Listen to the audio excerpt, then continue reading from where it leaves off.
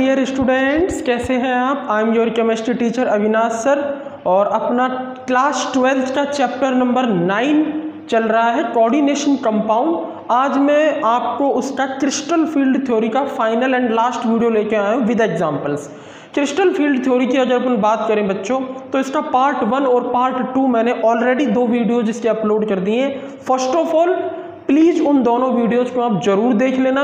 अगर आप उन दोनों वीडियोज़ को देख लेते हैं तो आज का वीडियो एकदम 100 परसेंट आपको गेन होगा। कंप्लीटली समझ में नहीं आएगा मैं कोशिश करूँगा कि डायरेक्ट भी अगर आप देख रहे हो तो भी समझ में आए। क्लियर है? चलो स्टार्ट करते हैं। कोऑर्डिनेशन कंपाउंड का क्रिस्टल फ़ील्ड थ्योरी का वीडियो नंबर थर्ड और पार्ट थर्ड क्या है देखो ये? तो पार्ट वन में अपन ने इंट्रोडक्शन की बात की थी पार्ट टू में सी की बात की थी क्रिस्टल फ़ील्ड स्प्लिटिंग एनर्जी की बात की थी, दो फील्ड्स में टेट्राहेड्रल और ऑक्टाहेड्रल फील्ड्स में, इन दोनों फील्ड्स में अपन ने बात की थी। आज अपन को क्रिस्टल फ़ील्ड थ्योरी का पार्ट थ्री देखना है। टॉपिक का नेम है बहुत ही important electronic configuration of D orbitals in central metal atom और ion in octahedral field octahedral field में सेंट्रल मेटल एटम या आयन का जो इलेक्ट्रॉनिक कॉन्फ़िगरेशन होता है डी ऑर्बिटल्स का, उसको देखना crystal field theory central metal atom या आयन के जो डी ऑर्बिटल्स है, उसी पर फोकस करती है और ये बताती है हमें कि when ligands approaches towards the orbitals of central metal atom और ion for the formation of coordination bond then energy of the system is increases due to the repulsion between the electrons of central metal atom or ion and electrons of the ligands.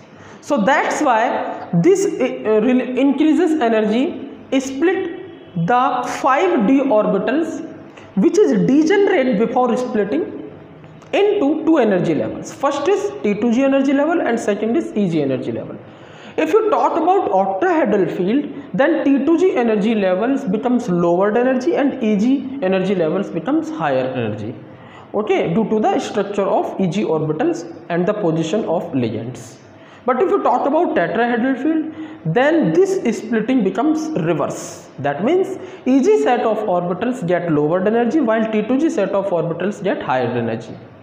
Octahedral field में ligands axis के ऊपर से आते हैं बच्चों, इसीलिए जो five D orbitals होते हैं, उसमें से ईजी जो सेट होता है ऑर्बिटल का, जिसकी डंबल एक्सिस के ऊपर पड़ती है, वो हायर एनर्जी के हो जाते हैं। और T two G set of जो ऑर्बिटल होता है, जिसकी डम्बेल्स एक्सिस के बीच में लाई करती है, वो जो वो रिपल्सन से बच जाते हैं, लिगेंड्स के रिपल्सन से। इसीलिए उनके टी टू जी सेट जो होते हैं, वो लोअर एनर्जी के होते हैं। क्लियर है ऑक्टाहेड्रल फ़ील्ड में? टेट्राहेड्रल फ़ील्ड में लिगेंड्स एक्सिस के बीच में से अप्रोच करते हैं सेंट्रल मेटल एटम की तरफ़। इसीलिए क्या होता है, अब की बार T two G set of orbitals जो होता है, वो रास्ते में पड़ जाता है रिपल्सन ज़्यादा होता है। इसलिए उसकी एनर्जी हाई हो जाती है और ईजी सेट ऑफ़ एनर्जी जो होती है, वो लोअर हो जाती है। ये मैंने आपको डिस्कस किया था। क्लियर है? पार्ट टू वीडियो में।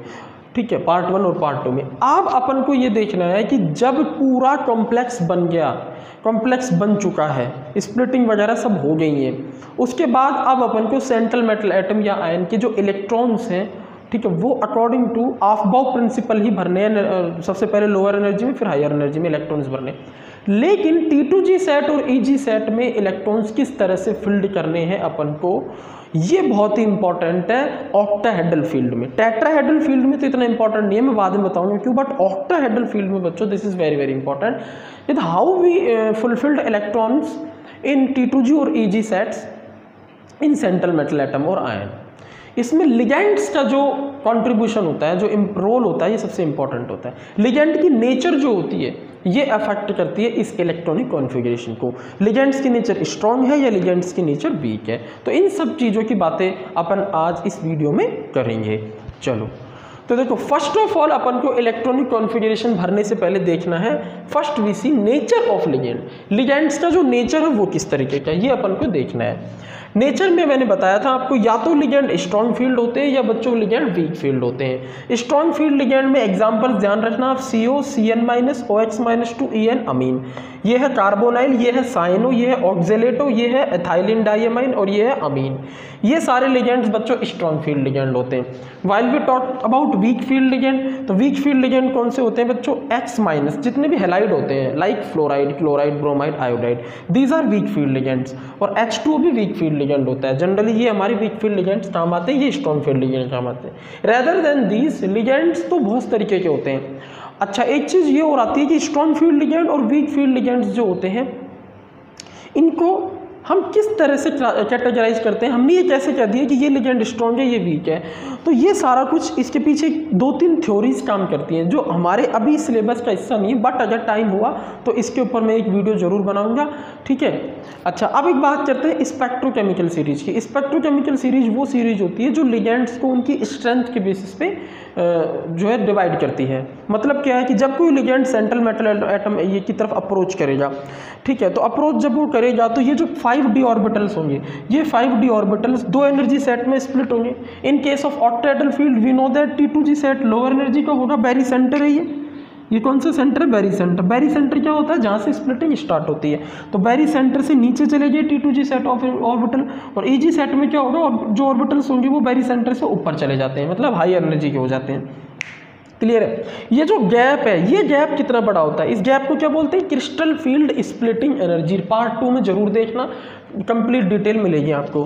क्रिस्टल फ़ील्ड स्प्लिटिंग एनर्जी का मतलब है T two G G sets जो है स्प्लिट हो रहे हैं लिगेंड्स की वजह से, जो एनर्जी गैप बनेगा, उसे अपन क्रिस्टल फ़ील्ड स्प्लिटिंग एनर्जी बोलते हैं। डेल ओ यहाँ पर इसका सिंबल है ओ फॉर ऑक्टाहेड्रल फ़ील्ड और डेल फोर गैप के लिए अपन यूज़ करते हैं बिकॉज़ ये गैप है। स्ट्रॉन्ग लिगेंड इस गैप को बड़ा रखते हैं और वीक लिगेंड इस गैप को छोटा रखते हैं। क्लियर स्ट्रॉन्ग लिगेंड इस गैप को बड़ा रखते हैं वीक छोटा रखते हैं। इसे इनकी स्ट्रेंथ बोलते हैं। स्ट्रॉन्ग फ़ील्ड लिगेंड की स्ट्रेंथ ज़्यादा बड़ी होती है, ठीक है? ज़्यादा बड़ा ज़्यादा बड़े गैप से वो डिवाइड करते हैं ईजी और टी टू जी सेट को। जबकि जो वीक लिगेंड होते हैं, ये छोटे गैप से डिवाइड करते हैं, क्योंकि इनकी स्ट्रेंथ बहुत ही वीक होती है। तो स्ट्रेंथ के बेसिस पे वीक और स्ट्रॉन्ग फ़ील्ड लिगेंड्स को अपन ने अरेंज किया हुआ है। ठीक है, और एक सीरीज़ बनाई हुई है, जिसको अपन बोलते हैं स्पेक्ट्रोकेमिकल सीरीज़ एक वीडियो मैं उस सीरीज़ पर ज़रूर बनाऊँगा, उसकी क्या एप्लीकेशन सब हो और उसकी एक सुपर ट्रिक है मेरे पास, जिससे आपको सीरीज़ पूरी याद करने की ज़रूरत नहीं पड़ेगी। उस ट्रिक को आप देख लो सीरीज़ आपको ऑटोमेटिकली याद हो जाएगी। एक वीडियो बनाऊँगी मैं trick of spectrochemical series spectrochemical series को लर्न करने की ट्रिक क्या है? तो उस सीरीज़ से ही हमें पता चलता है कि कौन सा लिगेंड स्ट्रॉन्ग है, कौन सा वीक है। तो ये वीक्स है और ये स्ट्रॉन्ग है। तो सबसे पहले नेचर देखते हैं लिगेंड की। Strong field ligand weak field ligand strong field ligand की बात करें तो उस केस में गैप बड़ा आएगा यहाँ गैप छोटा आएगा मोर सी होगी। Due to strong field ligand less C F S C होगी due to weak field ligand अच्छा मैंने आपको पिछले वीडियोज़ में पेयरिंग एनर्जी की बात और की थी। स्ट्रॉन्ग फ़ील्ड लेजेंड अगर होगा, ठीक है ऑक्टाहेड्रल फ़ील्ड में तो सी एफ़ एस सी की वैल्यू ज़्यादा आ रही है। तो वो वैल्यू जो होती है, वो पेयरिंग एनर्जी से ज़्यादा निकल जाती है। वो वैल्यू क्या किससे ज़्यादा निकल जाती है बच्चों? पेयरिंग एनर्जी से ज़्यादा निकल जाती है। क्लियर है? लेकिन अगर स्ट्रॉन्ग फ़ील्ड लिगेंड की जगह वीक फ़ील्ड लिगेंड है ऑक्टाहेड्रल फ़ील्ड में ही तो फिर क्या होता है? सी एफ़ एस सी की वैल्यू कम होती है और वो पेयरिंग एनर्जी से कम रह जाती है। क्लियर हो रहा है ना दोनों केस तो पेयरिंग एनर्जी की वैल्यू यहाँ ज़्यादा आएगी सी एफ़ एस सी की वैल्यू यहाँ पर कम आएगी। पेयरिंग एनर्जी की वैल्यू यहाँ कम आएगी सी एफ़ एस सी की ज़्यादा आएगी due to strong field ligand तो ये बहुत ही इंपॉर्टेंट है। इससे फिर होगा क्या? इससे होगा ये कि जो फोर्थ इलेक्ट्रॉन होगा सिस्टम का, ये मैं आपको भी समझाऊँगा इधर कॉन्फ़िगरेशन लिखते वक्त। फ़र्स्ट सेकंड थर्ड नहीं, जो फोर्थ इलेक्ट्रॉन होगा सिस्टम का, वो पेयर्ड हो जाएगा टी टू जी सेट में due to less pi pairing energy कम है ना तो इलेक्ट्रॉन भाई सी एफ़ एस सी क्या होती है? गैप होता है। तो इलेक्ट्रॉन देखो, जैसे फॉर एग्ज़ाम्पल अपन ने एक इलेक्ट्रॉन जैसे यहाँ पर मैंने फ़र्स्ट इलेक्ट्रॉन रखा बच्चों। ठीक है, एक मान लो डी वन सिस्टम है। डी वन सिस्टम होगा तो यहाँ मुझे एक ही इलेक्ट्रॉन रखना पड़ेगा। इलेक्ट्रॉनिक कॉन्फ़िगरेशन में ये डी वन सिस्टम है तो मुझे यहाँ पर एक ही इलेक्ट्रॉन रखना पड़ेगा ना। देखो, उसको देखो डी वन को और फिर इसको देखो।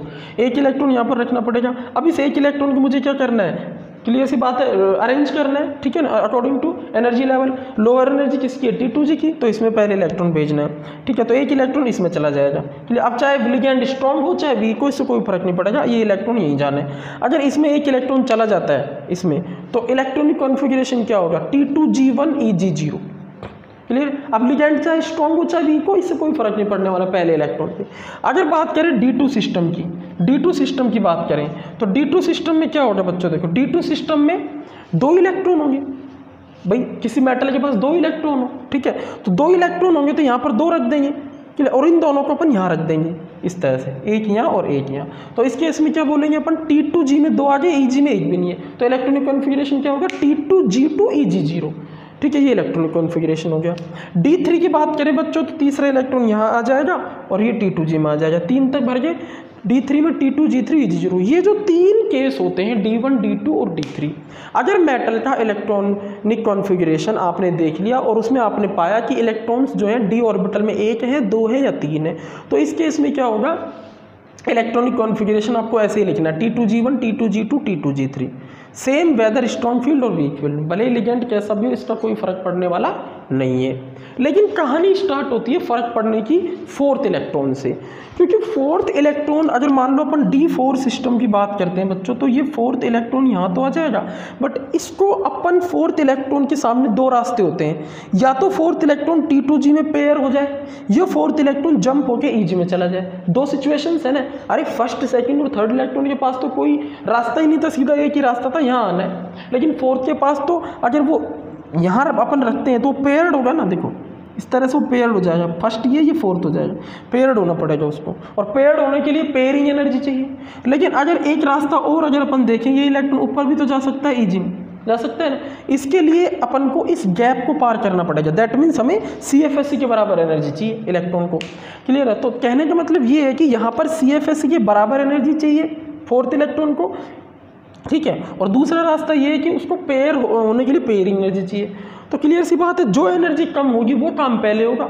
तो पेयरिंग एनर्जी कम है सी के कंपेरिजन में। तो इलेक्ट्रॉन कौन सा रास्ता चूज़ करेगा बताओ बच्चों? कौन सा रास्ता चूज़ करेगा? टी टू जी में जाने वाला रास्ता। इसलिए electron T two G set of orbital में ऑक्यूपाई हो जाएगा इंस्टीड ऑफ़ कि वो ई जी में जाए। क्लियर है?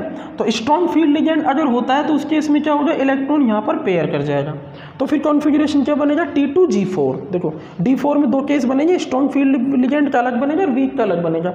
स्ट्रॉन्ग फ़ील्ड लिगेंड में क्या होगा? पेयर हो जाएगा नीचे ही तो T two G four E G में एक भी नहीं गया ई जी ज़ीरो इस तरह से बना दिखा दिया मैंने, चार इलेक्ट्रॉन यहाँ पर है, ये पेयर हो गया। ऊपर अभी इलेक्ट्रॉन नहीं है due to the more C F S E the C F S E value is more than pairing energy लेकिन अगर बच्चों अपन बात करें, ठीक तो ये लिख दिया मैंने fourth electron get paired in T two G set due to less pi pi कम है इसलिए। लेकिन अगर वीक फ़ील्ड लिगेंड की बात करें तो वीक फ़ील्ड लिगेंड में भी फ़र्स्ट सेकंड थर्ड तक तो कोई दिक्कत ही नहीं है सेम आएगा, लेकिन फोर्थ में क्या होगा? वही दो रास्ते होंगे। ठीक है? या तो पेयर्ड हो या ऊपर जाए क्लियर लेकिन यहाँ क्या है? ऊपर जाने के लिए जो एनर्जी चाहिए, वो कम है as compare to pairing energy clear क्योंकि वही वीक लिगेंड्स होते हैं तो बहुत ही कम गैप से इसको स्प्लिट करते हैं दोनों को ई जी और टी टू जी सेट को। क्योंकि इनकी स्ट्रेंथ कम होती है स्पेक्ट्रोकेमिकल सीरीज़ के अकॉर्डिंग ठीक है? स्ट्रेंथ कम होती है तो इसलिए क्या होगा बच्चों, जो फोर्थ इलेक्ट्रॉन होगा, वो पेयर ना हो करके अब वो ऊपर चला जाएगा। This is very very important and crucial point fourth electron ऊपर चला जाता है और ऊपर चले जाने की वजह से हम लिखें सी एफ़ एस सी कम है पेयरिंग एनर्जी ज़्यादा है? Fourth electron go in E G set due to less del O C F S C कम है। इसलिए वीक फ़ील्ड लिगेंड में क्या होगा? जब इलेक्ट्रॉन ऊपर चला जाएगा। तो कॉन्फिग्रेशन बताओ क्या होगा? कॉन्फिग्रेशन होगा बच्चों टी टू जी थ्री देखो टी टू जी थ्री और E G one E G one जबकि स्ट्रॉन्ग फ़ील्ड लिगेंड में डी फोर में दो केस बन गए। स्ट्रॉन्ग फ़ील्ड लिगेंड में क्या हो रहा है? टी टू जी में ही चारों आ गए और ई जी में एक भी नहीं है। क्लियर है? अब बात करते हैं बच्चों डी फाइव की। डी फाइव में क्या होगा? अगर हम यहाँ बात करें डी फाइव की तो सीधी सी बात है इलेक्ट्रॉन्स पांचवा भी ई पेयर हो जाएगा ऊपर नहीं जाएगा। यहाँ तो सेम बात रहेगी। लेकिन बीच में क्या होगा? इलेक्ट्रॉन देखो, बीच में क्या होगा ये फिफ्थ इलेक्ट्रॉन रहा आपका। सही, इधर देखते हैं। ये फिफ्थ इलेक्ट्रॉन है यहाँ पर। ये फिफ्थ इलेक्ट्रॉन है और ये फिफ्थ इलेक्ट्रॉन कहाँ चला जाएगा? ऊपर ही चला जाएगा। पेयर नहीं होगा। इसको ऊपर जाने में कम एनर्जी लग रही है? As compare to pair pairing system ठीक है? तो इस तरह से अपन इनकी बात करते हैं। क्लियर है? तो आप इसको एक बार नोट कर लीजिए। ठीक है, मैं इसको हटा देता हूँ। ये सिर्फ़ एक्सप्लेन करने के लिए था। इसको अपन एक बार हटा देते हैं। इसको आप नोट कर लीजिए ईजिली इसके बाद अपन बात करेंगे बाकी D six D seven D eight D nine and D ten systems की।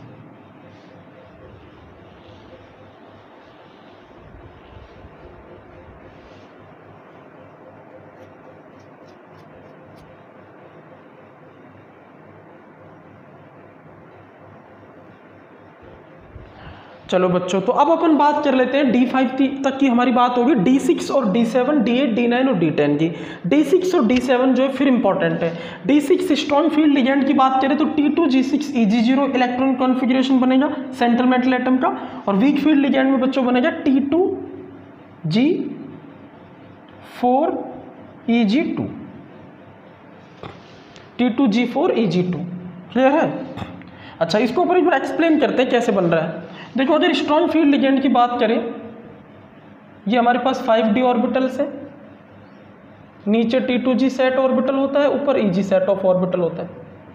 ये टी टू जी सेट है, ये ई जी सेट है। क्लियर है?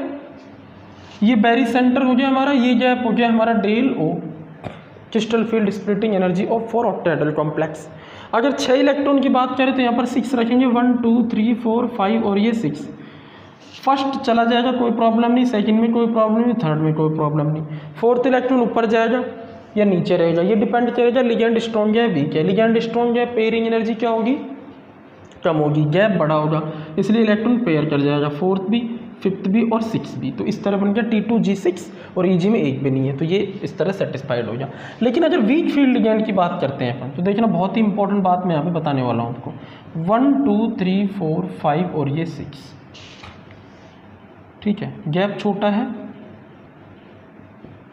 ये हमारा हो गया ई जी और ये हमारा हो गया टी टू जी ये गैप बच्चों हो गया डेल ओ अब एक बात बताओ, ये बैरी सेंटर हो गया हमारा। छः इलेक्ट्रॉन जाएँगे, फ़र्स्ट, सेकंड, थर्ड में कोई प्रॉब्लम नहीं है, चले जाएँगे। फोर्थ इलेक्ट्रॉन ऊपर जाएगा because C F S C कम है वीक फ़ील्ड की पेयरिंग एनर्जी ज़्यादा है तो फोर्थ इलेक्ट्रॉन पेयर नहीं करेगा और फिफ्थ भी नहीं करेगा। ऊपर चला जाए। लेकिन सिक्स इलेक्ट्रॉन जो होगा छठा छः इलेक्ट्रॉन है टोटल डी सिक्स की बात चल रही है ना? यहाँ भी डी सिक्स की बात चल रही थी। डी सिक्स में जो छठा इलेक्ट्रॉन होगा बच्चों, उसके सामने फिर से दो रास्ते आ गए भाई, छठे इलेक्ट्रॉन को अगर ऊपर भेजेंगे तो ऊपर भी वो पेयर ही करना है और नीचे भी वो पेयर ही करना है। अब तो उसको पेयर ही करना पड़ेगा और कोई रास्ता नहीं है। ठीक है तो क्लियर सी बात है, वो पेयर नीचे करेगा या ऊपर करेगा? ये इंपॉर्टेंट है। तो बच्चों, अगर पेयर नीचे करेगा, तब भी पेयरिंग एनर्जी लगेगी। और ऊपर करेगा तब भी पेयरिंग एनर्जी लगेगी। लेकिन ऊपर करेगा तो सी एफ़ एस सी के बराबर एनर्जी और लगेगी। तो ऊपर करने में नुकसान है, क्योंकि सी एफ़ एस सी के बराबर जंप को भी अपन को क्रॉस करना। भाई, इस गैप को भी जंप करना पड़ेगा क्रॉस करना पड़ेगा। सी एफ़ एस सी भी चाहिए और पेयरिंग तो चाहिए ही चाहिए। यहाँ तो भाई, इससे पहले तो क्या था? डी सिक्स से पहले तो क्या था? Only C F S C चाहिए होती थी। अब क्या सी एफ़ एस भी चाहिए और पेयरिंग भी चाहिए? तो किसमें फ़ायदा है? नीचे पेयर कराने में। क्लियर है? तो सिट सिक्स इलेक्ट्रॉन यहाँ नीचे की तरफ़ पेयर कर जाएगा। इसीलिए मैंने बोला टी टू जी में फोर और ई जी में टू चले जाएँगे। क्लियर है? अच्छा अगर अपन बात करें डी सेवन की तो डी सेवन स्ट्रॉन्ग फ़ील्ड में अब सीधी सी बात है छः कंप्लीट हो तो सातों अब नीचे तो आने नहीं कंटिन्यू भेजे जाओ। T two G T two G sorry T two G six E G one और इसमें क्या होगा बताओ? अब इसमें पेयरिंग नीचे होती जाएगी तो इसमें हो जाएगा बढ़ा दो इसको T two G five E G two clear है? अच्छा डी एट की बात करें तो डी एट जो होगा, वो अब दोनों के लिए सेम हो जाएगा। देखो कैसे। भाई, सीधी सी बात है, अगर अपन डी एट की बात कर रहे हैं तो पहले स्ट्रॉन्ग और वीक के सब लिखने की ज़रूरत है बराबर आएगा दोनों में। कैसे आएगा, देखो। आठवां इलेक्ट्रॉन सात हो गए, हमें आठ इलेक्ट्रॉन भेजने फिल करने तो कैसे करेंगे? देखो ये सिक्स ये सेवन और ये एट आठ हो गए। अब सीधी सी बात है, यहाँ पे क्या होगा? दो इलेक्ट्रॉन कितने? छः हैं ये। दो और भरने तो ये फिफ्थ हो जाए, ये हो जाएगा अपना सिक्स ये हो जाएगा सेवन और ये हो जाएगा eight T two G six E G two क्या बनेगा? T two G six E G two और वीक में क्या होगा? वीक में देखो स्ट्रॉन्ग में ये छः तो यहाँ भरेंगे पहले स्ट्रॉन्ग में देख लेते हैं छः हो गए, उसके बाद कितने भरने मुझे दो और भरने तो दो यहाँ भरेंगे, फिर एक और एक यहाँ पर भरते तो क्या हो जाएगा? T two G six E G two लेकिन वीक में अगर अपन आठ करेंगे ठीक है तो क्या होगा? ये हो जाएगा सेवन ये हो जाएगा T two G six E G two वही आ रहा है क्लियर है ना? तो डी एट में क्या होगा बच्चों? ये होगा electronic configuration T two G six और ई जी टू ये कॉन्फ़िगरेशन है। ऐसे डी नाइन में क्या आएगा बच्चों? टी टू जी सिक्स अब ई जी में ही जा, जाना है। टी टू जी कंप्लीट हो गया सिक्स के साथ। ठीक है अब ई जी में ही जाना है। ई जी में हो जाएगा थ्री और डी टेन में क्या होगा बच्चों? T two G six E G four तो इसको आप नोट कर लीजिए। यानी कि हम एक इंपॉर्टेंट बात यहाँ पर मैं आपको ये बता देता हूँ। देखो डी टेन में T two G six E G four भर के देख लो ठीक है तो इन तीनों में फिर से क्या हो गया? इन तीनों केसेस में फिर से क्या हो गया? Same configuration